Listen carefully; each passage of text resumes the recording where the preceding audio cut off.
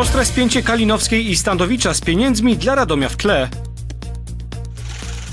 Jest akcja i jest reakcja, czyli Miejski Szpital kością politycznej niezgody. Elektrownia zaprasza na wyjątkowe spotkania z ikonami polskiego kina. Zaczęło się od tych słów Katarzyny Kalinowskiej wypowiedzianych podczas poniedziałkowej konferencji prasowej. Dowiedzieliśmy się, że Komisja Europejska nie przychyliła się do wniosku rządu polskiego, który dotyczył wydzielenia Warszawy i Obwarzanka z województwa mazowieckiego. Chodzi o tak zwany podział statystyczny NUC, dzięki któremu uboższe regiony województwa, w tym na przykład Radom, mogłyby liczyć na nieco większe unijne wsparcie niż bogatsza Warszawa. Zdaniem Katarzyny Kalinowskiej klamka w tej sprawie zapadła, a dowodem tego jest m.in. raport unijnego komisarza Erika von Breski, który wskazuje, że województwo mazowieckie w czasie następnej perspektywy na lata 2021-2027 będzie potraktowane jak inne dobrze rozwinięte regiony Unii Europejskiej. Cały obszar Mazowsza miałby zostać zakwalifikowany do regionów lepiej rozwiniętych. Do tych słów w swoim wideoblogu odniósł się wicewojewoda mazowiecki, który zaprzeczył jakiejkolwiek podejmowanej ostatnio decyzji Komisji Europejskiej w tej sprawie. Komisja Europejska już w 2016 roku, a dokładnie 21 listopada tego roku rozporządzeniem, własnym rozporządzeniem e, zaakceptowała podział statystyczny województwa mazowieckiego. Jest to fakt. Od e, 1 stycznia 2018 roku podział statystyczny e, na dwa NUC na terenie województwa mazowieckiego i wydzielenie Warszawy statystyczne stało się faktem. I nie zmienią tego żadne, e, żadne konferencje e, nowoczesnej w Radomiu. To jest oczywista rzecz. Zdaniem jednak Kalinowskiej to właśnie teraz władze centralne Polski powinny zabiegać o to, by w przyszłej unijnej perspektywie finansowej Radom i region były traktowane inaczej niż bogata Warszawa. Jest zagrożenie, mówi Katarzyna Kalinowska, że tak nie będzie. Opisujemy stan obecny. Stan obecny, który jest niekorzystny z punktu widzenia Radomia. Zdaniem Artura Standowicza we wszelkich raportach brane są pod uwagę dane krajowych urzędów statystycznych gromadzone przez Eurostat, a najświeższymi danymi, jakimi posługuje się ta instytucja, są te publikowane na koniec 2017 roku. Tegoroczne dane mają być podane przez GUS w późniejszym terminie. Dopiero na bazie tego powstanie najnowszy, najnowszy raport Eurostatu, który już będzie to wszystko uwzględniał i zakładam, że ten raport będzie brany pod uwagę w kolejnych e, latach, w kolejnych pracach nad budżetem Unii Europejskiej. Wicewojewoda stwierdził także, że słowa wypowiadane przez Katarzynę Kalinowską to fake news, czyli wiadomości, które nie mają nic wspólnego z prawdą i że polski rząd już pracuje nad pozytywnym lobbyingiem, by Komisja Europejska wzięła pod uwagę obowiązujący od tego roku podział statystyczny województwa mazowieckiego. Trzeba teraz tylko zawalczyć o to i zabiegać, żeby, e, żeby Komisja Europejska w dalszych pracach opierała się jak e, najbardziej aktualnymi e, danymi. Przypomnijmy, że to między innymi dzięki odpowiedniemu podziałowi statystycznemu Unia Europejska rozdziela środki na przykład w ramach polityki spójności, czyli wsparcia rozwoju poszczególnych regionów wspólnoty. Na poniedziałkowej konferencji prasowej Wojciech Skurkiewicz stwierdził, że Radomski Szpital Specjalistyczny przeżywa nie lada problemy. Po pierwsze chodzi o jakość jedzenia, która zdaniem Skurkiewicza jest efektem zbyt niskiej stawki porcji posiłku dla pacjentów. Obecnie dzienna stawka według wiceministra to 6 zł. Ta sytuacja też musi jak najszybciej ulec zmianie. Dziś e, wiceprezydent Radomia do spraw służby zdrowia mówił, że stawka żywieniowa w radomskim szpitalu to jest 13 zł na osobę. Dzienna stawka żywieniowa w szpitalu.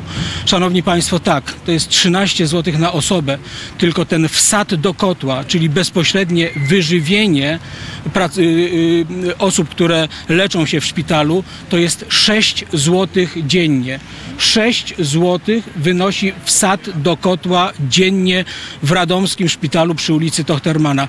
Ta sytuacja absolutnie musi być zmieniona. Po drugie, zdaniem Skurkiewicza w szpitalu panują skandaliczne warunki, których konsekwencją jest brak personelu medycznego. Dziś dochodzi do takich sytuacji, że e, na tym odcinku chirurgicznym radomski e, SOR, czy SOR Radomskiego e, Szpitala przy ulicy Tochtermana funkcjonuje co drugi dzień.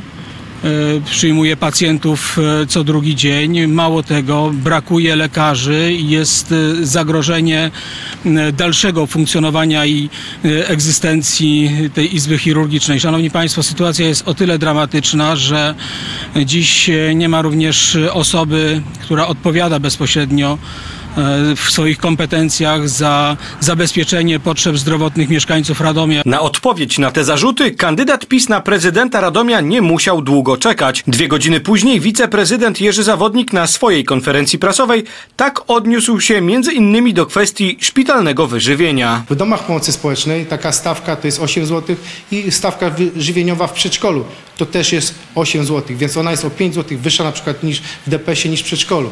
W ZUS-ie, jeżeli ktoś jedzie do sanatorium e, i płaci za to Zakład Ubezpieczeń Społecznych, to stawka żywieniowa jest 7 zł. Stawka żywieniowa w radomskim szpitalu jest porównywalna z tym, jak jest w całej Polsce. Ja sobie pozwoliłem też zrobić zdjęcia e, przy, takich e, przykładowych posiłków, jak one wyglądają. Oczywiście to nie jest jakieś wykwintne jedzenie, ale przede wszystkim pieniądze w szpitalu wydajemy na leczenie. Bo według wiceministra jedzenie w szpitalu wygląda tak. Szpitalne wyżywienie według wiceprezydenta wygląda jednak tak. Wiceprezydent odniósł się także do zarzutu dotyczącego funkcjonowania szpitala. Wszystko funkcjonuje e, jak należy. E, oczywiście informowaliśmy oficjalnie e, wojewodę, zarówno w rozmowie, jak i pisemnie, o kłopotach e, z lekarzami, ale to też nie jest żadne nowo. O tym mówiliśmy na Radzie Społecznej Szpitala i przedstawiciele Prawa i Sprawiedliwości dostali od nas listę z konkretnym wykazem, gdzie tych e, lekarzy chętnie na których oddziałach byśmy dodatkowo zatrudnili. Od, permanentnie od dwóch lat e, w izbach e, lekarskich warszawskiej, łódzkiej, lubelskiej i świętokrzyskiej wiszą ogłoszenia i każdy, kto chce zostać zatrudniony w szpitalu, jest lekarzem, taką możliwość dostanie. Przypomnijmy, że według uchwały budżetowej na 2018 rok na Radomski Szpital na różne formy działania i finansowania tej jednostki przeznaczonych ma być ponad 31 milionów złotych. 30 czerwca Mazowieckie Centrum Sztuki Współczesnej Elektrownia zainaugurowało Wieczory z Mistrzem, czyli cykl spotkań z wybitnymi aktorami, którzy znani są z kultowych ról w wielkich adaptacjach klasyki polskiej literatury. spotkania czy wieczory z mistrzami są zorganizowane w ramach obchodów e, setnej rocznicy odzyskania niepodległości przez Polskę. Chcemy przedstawić e, to, co w e, twórczości polskiej s- ma znaczenie narodowościowe, niepodległościowe, sięgające różnych tematów.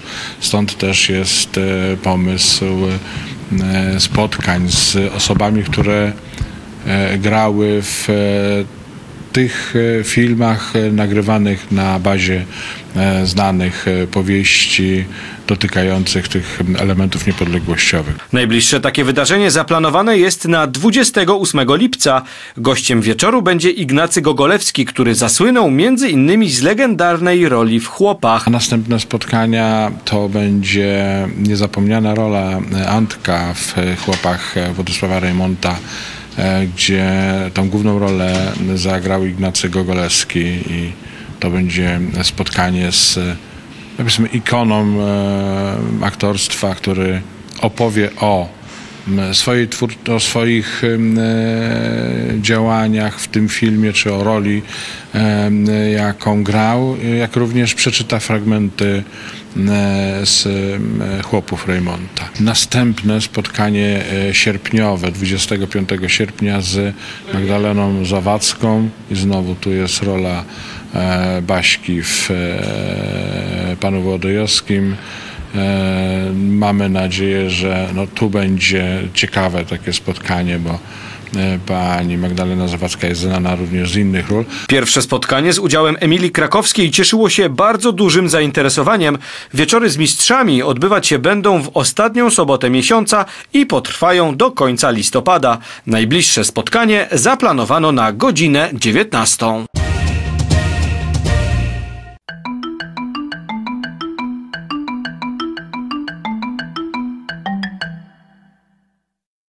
To jest zapowiedź programu Wyszukani, ponieważ jest środa. My jesteśmy teraz w dzienniku, ale już za kilkanaście minut, czyli o godzinie 17.45, premiera dzisiejszego odcinka programu Wyszukani. Mamy dzisiaj towarzystwo, trochę głośne, radomskie, to najważniejsze. Gościem w programie będzie dzisiaj Aneta Poneta, brafiterka Radom. Witaj Aneto. Dzień dobry. E, powiesz w programie, rozumiem, że panie radomianki popełniają masę błędów i ty jesteś po to, żeby unikać tych błędów. Nie, my nie popełniamy błędów, my czasami nie mamy wiedzy. A, czyli ty chcesz tutaj lawirować, nie chcesz, żeby, żeby skupić się na tym, że panie popełniają błędy, tylko nie, my tylko naprawiasz i prostujesz ich Ja, ścieżki. ja tak, ja ukierunkowuję na dobre tory, bo wszystkie jesteśmy wspaniałe, ale no, nie na wszystkim się znamy, więc Z takiego męskiego punktu widzenia y, dobrze jest to, że ty powiększasz biusty. Ale to jest właśnie egoizm męski. Wiesz co, ale nie chciałem, żeby tak zabrzmiało, tylko kurczę, no szpile dostałem, tak mniej będzie w programie tych szpilek. Krzysztofie, przecież mnie znasz.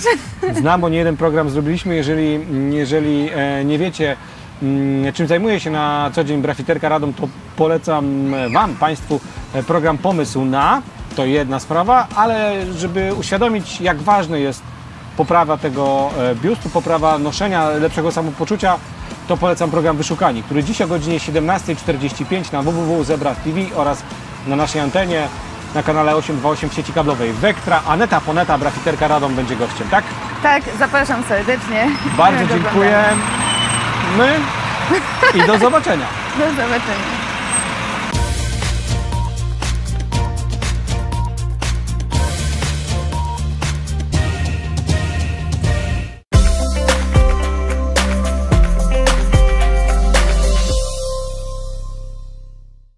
Restauracja La Spezia. Świetna lokalizacja, nowoczesne wnętrza i różnorodne menu. Serwujemy pyszne dania z grilla. Steki wołowe, kurczak, sery, do tego znakomite dodatki i sosy. Kuchnię włoską, makarony, przystawki, ponad 30 rodzajów pizzy. Polecamy burgery z soczystej pysznej wołowiny. A dla najmłodszych mamy specjalne menu i kącik zabaw. Organizujemy catering, imprezy okolicznościowe, posiadamy prywatny VIP room z tarasem. Restauracja La Spezia, ulica Sandomierska 1. Zdrowo i ze smakiem.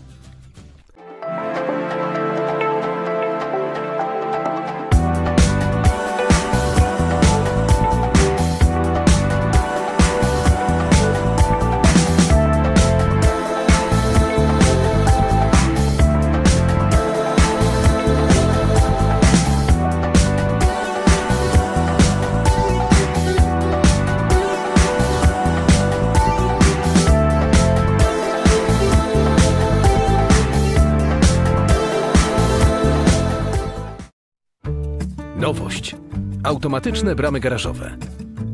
Dostępne od ręki. Bardzo dobra jakość. Transport do klienta. Łatwość w montażu. Produkt radomskiego lokalnego producenta. Jarmex. Ogrodzimy co chcesz. Dostarczymy gdzie chcesz. www.jarmex.com.pl